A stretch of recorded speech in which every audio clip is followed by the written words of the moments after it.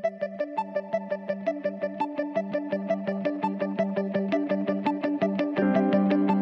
When we think of nuclear energy, we think of these big cooling towers in the distance and kind of the mystery of these giant nuclear plants. What do they do and are they dangerous? Well, there's a renaissance going on in nuclear energy, and joining me now is the founder of a company called Nano Nuclear Energy, and that's Yu. Jay, welcome to Studio 9.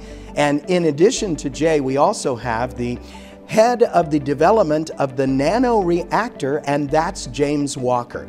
Uh, this is an exciting time for nuclear energy. So, Jay, tell us about nano. Nano meaning very small. A reactor that could fit in the back of a truck? Uh, with material science uh, catching up now, that is possible. Uh, where there's a nuclear renaissance, there's all this new technologies coming out. There's so many startups too popping up left and right. And Nano, in the past few years, ha- has created something very special. Uh, we focus on, like you said, building a essentially a nuclear battery on a truck to replace diesel generators. And with that, you know, we have to recruit the best of the best across the world. Um, I was able to recruit a Rockstar CEO and our head of reactor development, James Walker, who's on with me right now. Uh, we've we've again not just built reactors, but we're focusing on kind of the whole supply chain of nuclear. With COP28 and dozens of countries now committing to tripling nuclear uh, by 2050, there's a there's a huge catalyst here for companies like Nano Nuclear. Climate change is a very big concern for many, many people, and one benefit of nuclear power is no emissions at all. Lots of power and no emissions, and that's a pretty needed thing right now.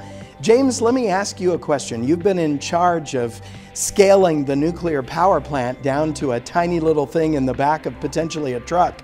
Well, how the heck have you done that, James? How are you working on that?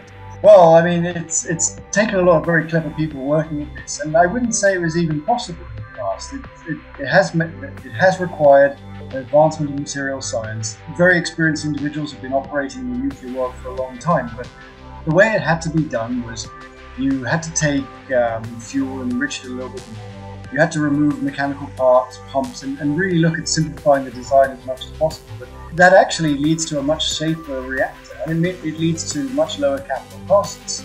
And eventually, you know, you get to where we are now, we have something that can fit on the back of a truck that can go anywhere in the world, like road, or train, or shipping container. It's finally possible, and we can.